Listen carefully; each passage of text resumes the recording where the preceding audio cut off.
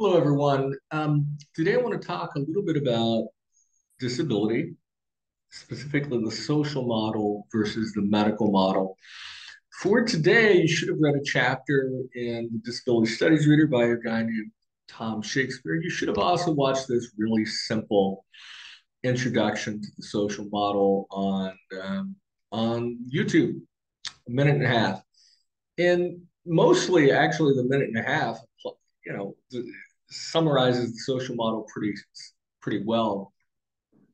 I'm going to give you a deeper sort of analysis. Um, and I also give you a handout to fill out as you read uh, what is the medical model. These were the key questions on that handout, which was remember all this stuff here.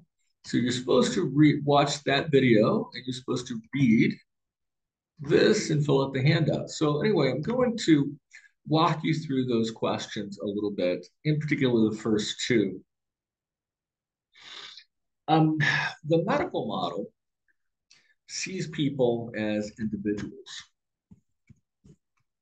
So a person comes in in front in in to a, to a hospital, and the problem is again the individual.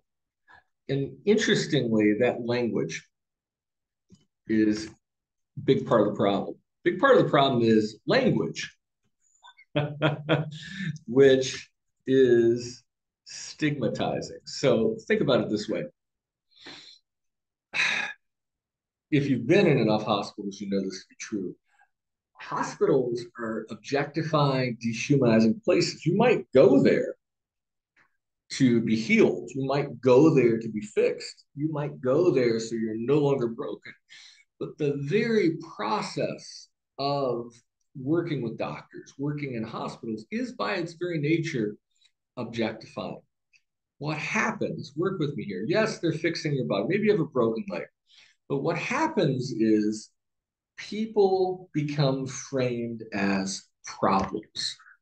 And that language, um, the, the, the way people are culturally framed as broken let's say someone's a wheelchair, maybe they're in a wheelchair or will be using a wheelchair for the rest of their lives. Does that mean that they're broken? Does there's a whole lot of cultural and social stigma attached to disability. And the medical process kind of the, the way hospitals and doctors, the establishment treats people ends up adding to that cultural weight. Uh, maybe I'll give you a, a simple example. Um, okay, so uh, here's a simple example something that's not a big deal, but we make it into a big deal. Uh, there are two forms of herpes. Uh, there's an oral version, which enormous, enormous percentage of people have. If you've ever had a cold sore, you have oral herpes. There's also genital herpes. Um, my understanding, I've dated two women that had this condition. It wasn't a big deal. They took meds and it was under control. But herpes has, it's a medical condition.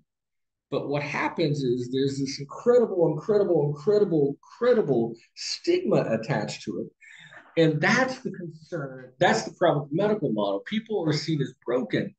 And sometimes that that that problem with the body becomes far worse because of the way we construct that body or we construct that mind as a problem. So people who believe who follow the social model, one of the basic criticisms is the medical model model treats people as as as problems and in, and in so doing creates even more problems for people who are in pain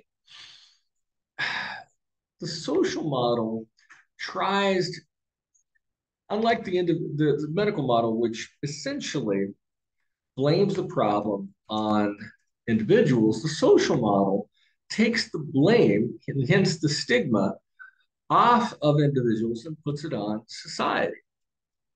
Now, think about this. Individuals are blamed for being broken. Uh, society in the social model is blamed the guilt is held by society. And this sounds a little bit bizarre. Most people think, oh, that person's disabled. They think, oh, that's just an issue. his or her individual issue. But the social model says that focusing the blame on the individual is stigmatizing and burdensome and and uh, oppressive. And they say something like the following. Work with me here. They make a distinction between impairment and disability. Now, it works like this. One may be impaired. One can be impaired. That doesn't necessarily mean that one is disabled. So, for instance, I am, I wear glasses right now. The fact that my eyes are not in great shape is absolutely, absolutely an impairment. But guess what?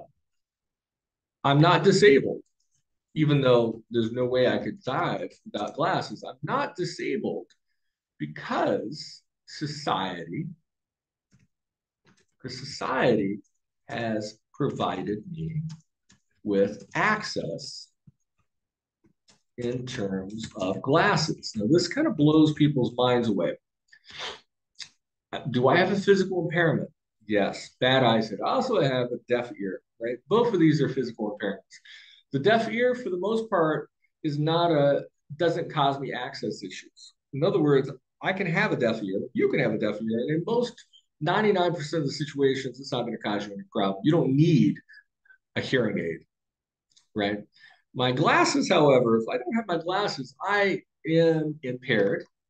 And in terms of the social model, I'm not only impaired, but without glasses, I am truly disabled. So disability is about society denying you access. Disability is not something you have, it's something you're denial, denied. So it's like a social construct.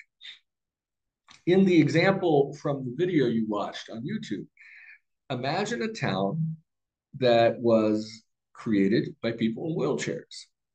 In fact, everyone is in a wheelchair. So that town is going to be constructed for people in wheelchairs.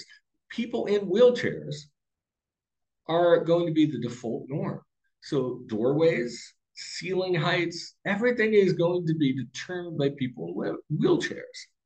So that is are any of those people disabled? No, because the entire society is built around their bodies. And by, by the way, in our world, the entire society is built around people who are physically able. In the video, what happens is physically, people who are not in wheelchairs who stand upright enter into this town. And guess what? The town is denying them access. They bump their heads.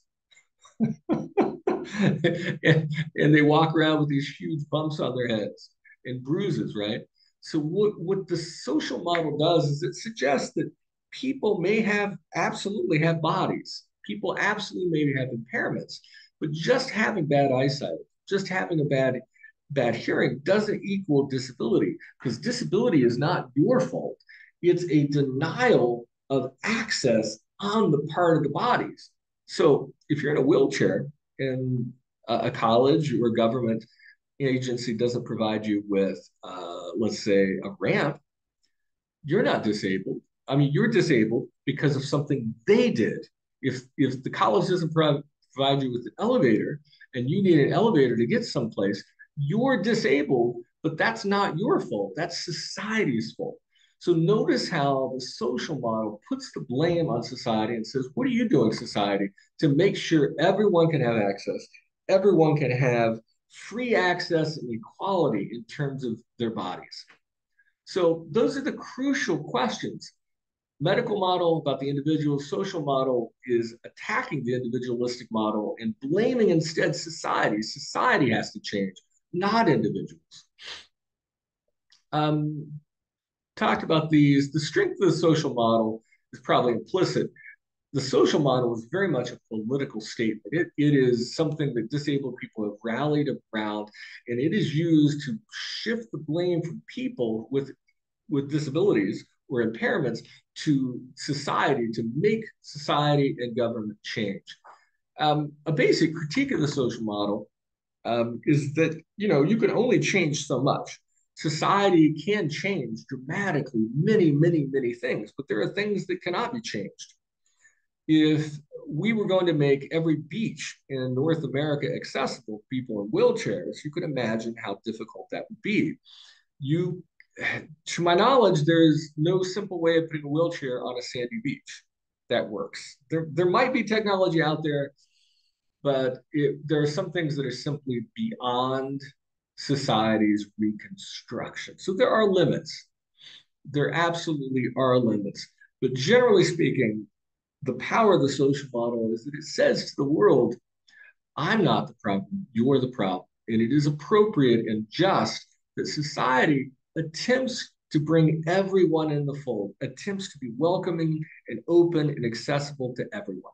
Okay, so those are the basic ideas. Please, if you didn't, reread Tom Shakespeare. Um, and uh, please contact me if you have any questions about this. Thank you.